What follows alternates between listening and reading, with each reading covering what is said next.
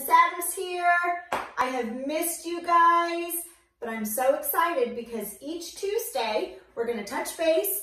I am going to do um, some drawing lessons each week that you can follow along at home. You don't need any fancy art supplies, any piece of paper, a pen, yes, a pencil. I know we don't use pencil a lot in my class, but I'll let you use pencil at home. So whatever drawing material that you have and any old piece of paper, we're gonna work on our drawing skills each week. So um, adults, if you're watching this, I will be posting a couple different lessons each week that are geared towards different age groups. And so, um, but of course, kiddos can do all the lessons or just choose the one that's geared toward their age. It's really up to you guys. And like I said, you don't need any fancy materials at home. I'm just gonna do the drawing and then whatever you've got at home, if you wanna take it um, another step and you wanna color it in with your colored pencils or your crayons or your markers, whatever you have at home, that's great too. But what I really want us to focus on is continuing our drawing skills, just like we've practiced, or just like we've talked about each week in class, drawing is a skill just like any other skill, just like playing the piano, just like riding your bike, playing football. You got to practice to get better. So um, that's why we're going to work on that each week to continue your drawing skills, okay? So this lesson that we're going to start with, this is really geared toward my fourth and fifth graders. This crocodile we were doing in third grade right before spring break, and I promised a lot of you that we would do it when we got back. A lot of you fourth and fifth graders really wanted to try out this cool crocodile. So that's what we'll do now. And then um, the next lesson will be geared towards younger kids, okay, adults? So, but of course, if you're a second grader and you want to try this, if you're a first grader and you love to draw and you want to try it, try it, guys. It's art, right? You know there's no right or wrong, good or bad, so you might as well just try it if you want to, okay? So, we're gonna start, just like always, guys, you're gonna want your paper, and look at this drawing. He's, he's not floating, he's not flying, right? He's kind of uh, his body's sort of curved up. It almost looks like he's about to attack or he's about to go in the water and his body's just kind of curved. So I suggest you have your paper up and down tall today. And we're gonna go ahead and get started. Like I said, you can use pencil.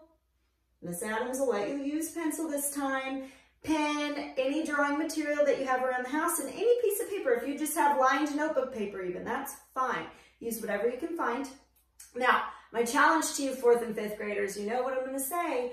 If you're using pencil, don't spend the whole time erasing it and trying to make it perfect. My challenge is that you um, go ahead and draw the whole thing without one erase mark. Let's see if you can do it. Let's see. Okay, so you're gonna start not in the middle of your paper. Look, his eyeball is more towards the bottom because of the way his body is curving. So you're gonna look more towards the bottom of your paper somewhere. And I wouldn't necessarily start in the middle. You might wanna move it over just a little bit to give you some more room on the side for his body, but it's up to you. We're gonna start with his eyeball. I would go very small for his eye, eyeball so that you have plenty of room to fit him on the paper. Okay, so I'm gonna look, I'm gonna decide where I want my eye to go. Just start with a little curve line, just like always, guys, just like art class with Miss Adams. Start with his eye, a little curve line.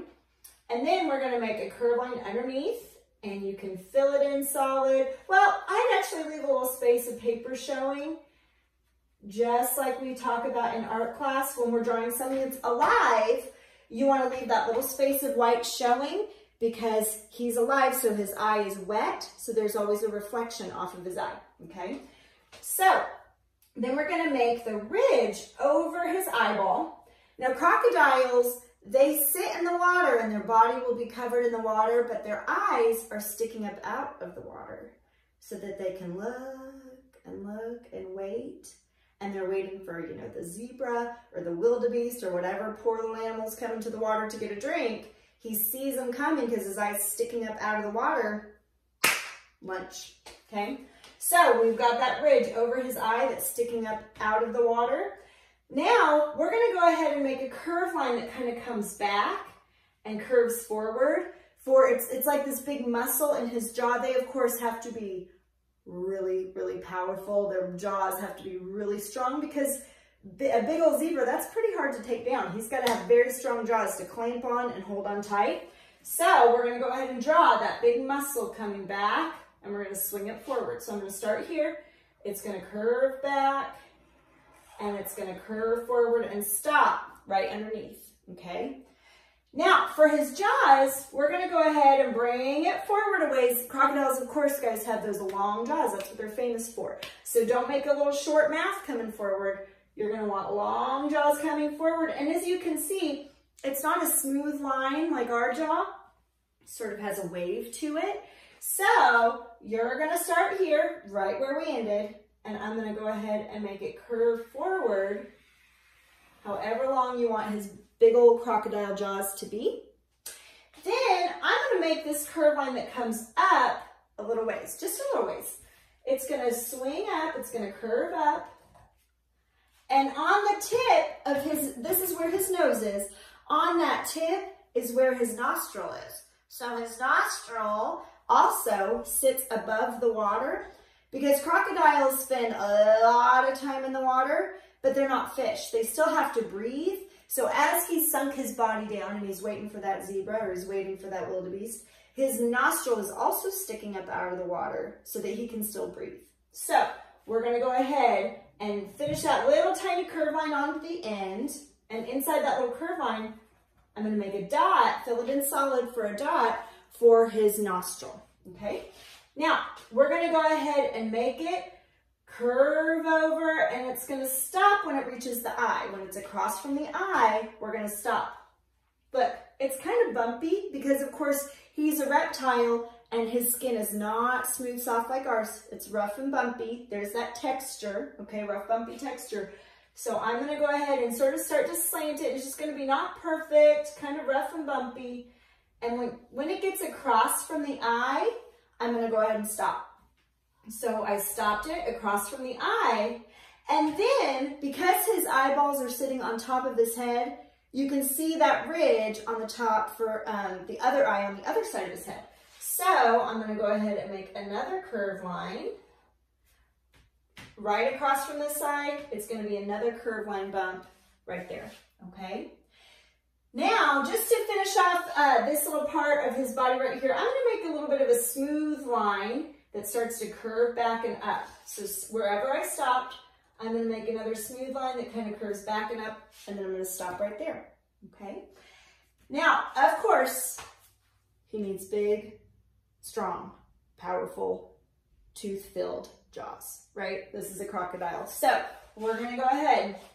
Look at this curve line that we had for that jaw muscle right here.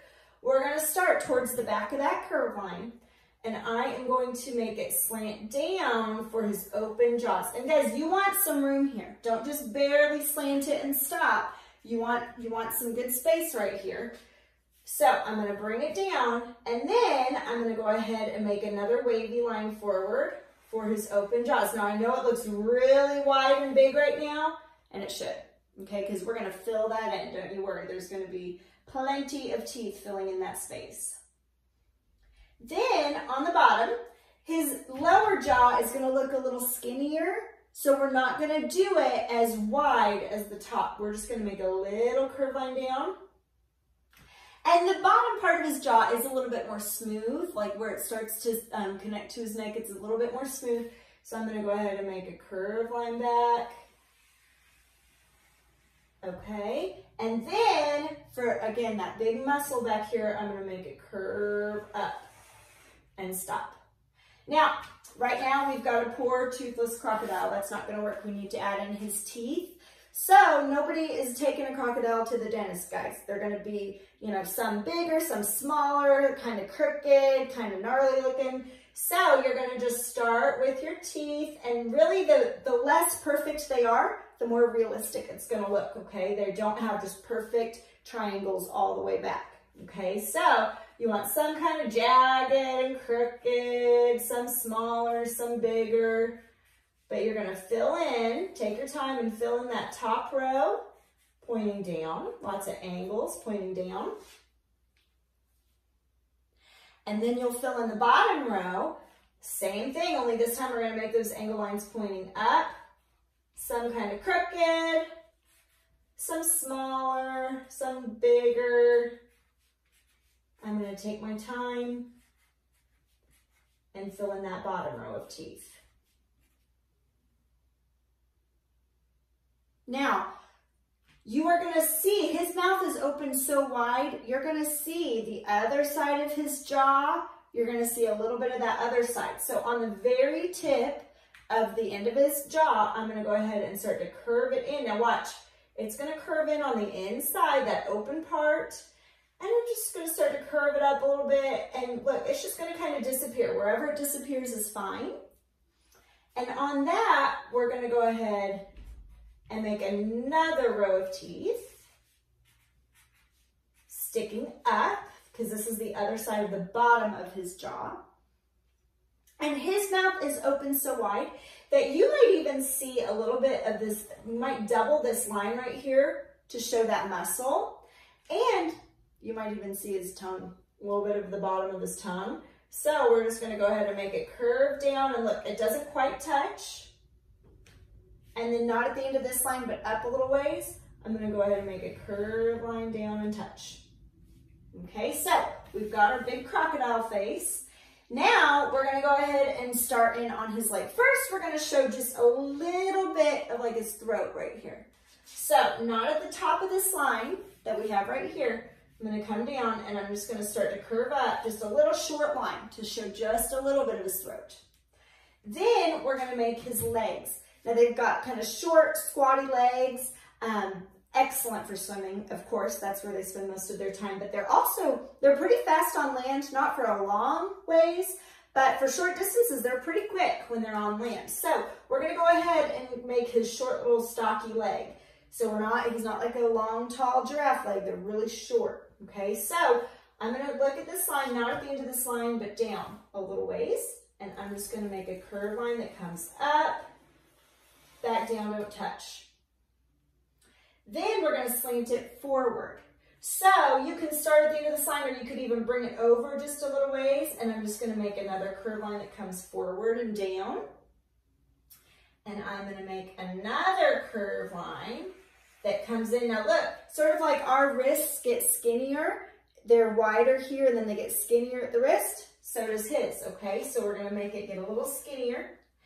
And then I'm gonna make, he's got four toes. Nobody's gonna count your croc toes. If you only have room for three or if you want five, do it. So you can make, they're kind of, you know, they're kind of gnarling, kind of not perfect looking, kind of out and back in, don't touch. Out, back in, don't touch, out, back in, don't touch. Looks like I have room for four, but maybe you only have room for three. That's fine. Make it how you want. Now we've got his, we've got his kind of throat started. This is the line that we're gonna look at. We're gonna stop, jump over his leg, and this is, guys, where his body really starts to curve up. So I've stopped right here. I'm gonna jump over and I'm gonna start to curve my body more up. Okay, so we're gonna start here, jump over, curve my body up, okay?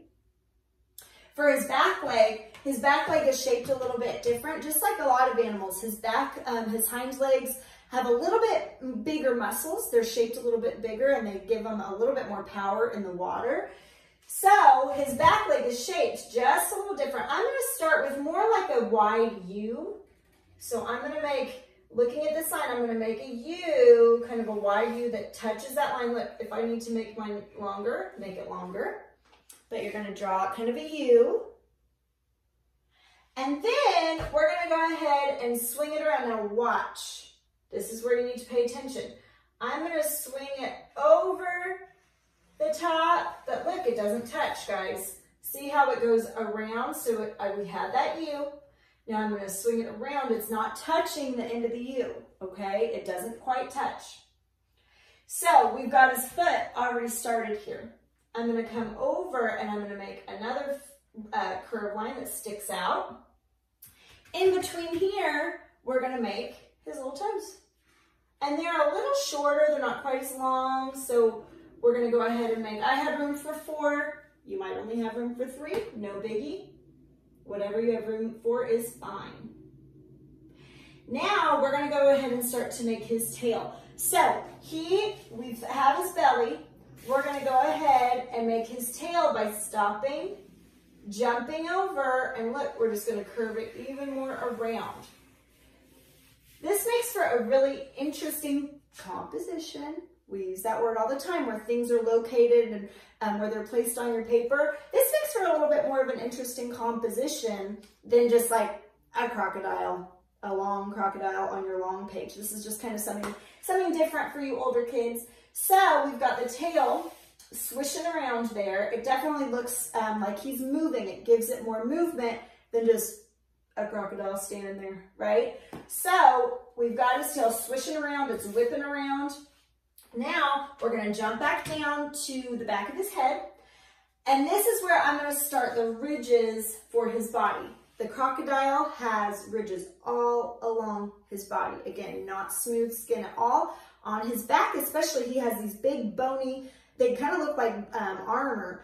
So we're gonna go ahead and make little curved lines that follow the curve of his body up. Now listen, this is where you really have to look.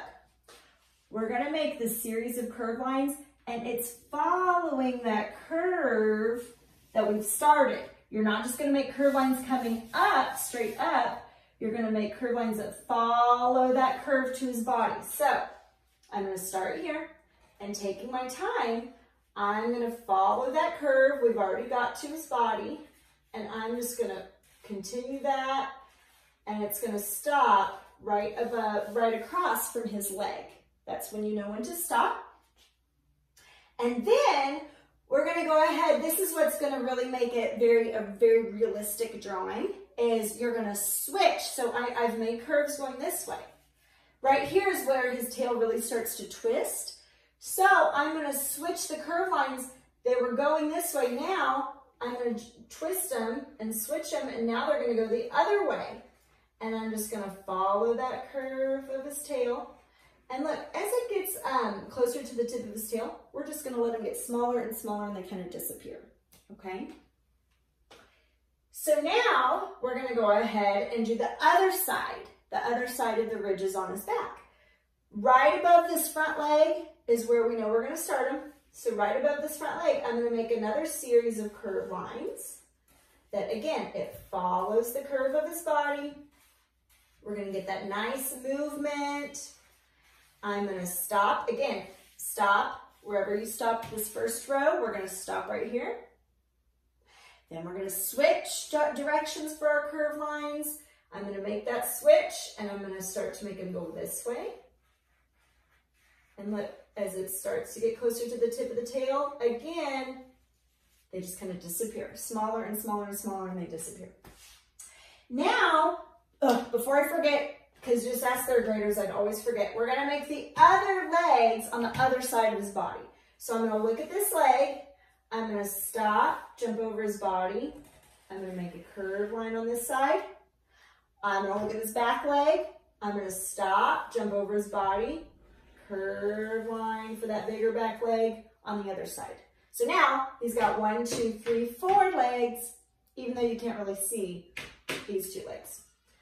So now we are gonna go ahead and start to really add in the detail, the design, make it really interesting and fun to look at. The thing with the crocodiles, guys, is that they are covered in scales, covered in pattern, um, that repetition, repeating shapes, repeating lines.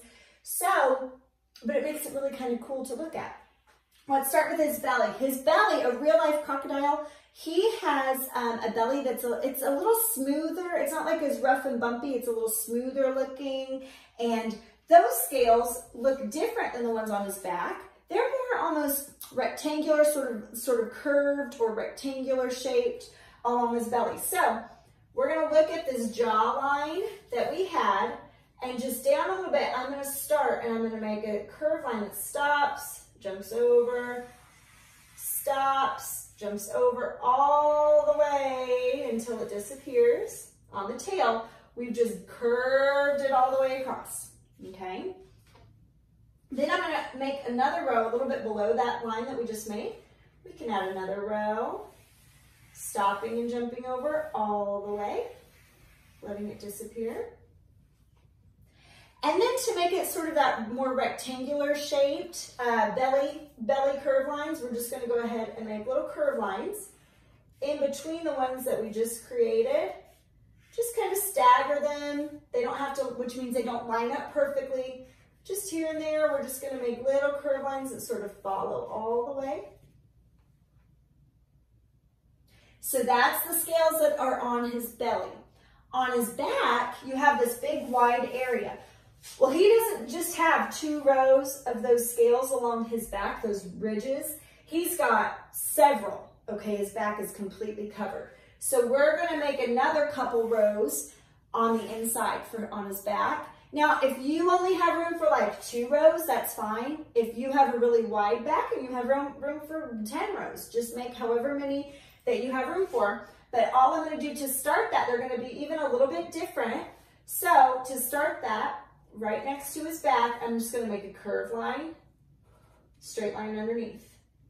Curve line, straight line underneath. Curve line, straight line underneath. And I'm gonna follow that curve line, straight line pattern all the way back. And they're gonna, again, they're gonna start to get smaller. I have room for another row, so I'll do that again. Curve line, straight line. And again, notice how I'm curving it with this body. I'm following that curve. And take your time.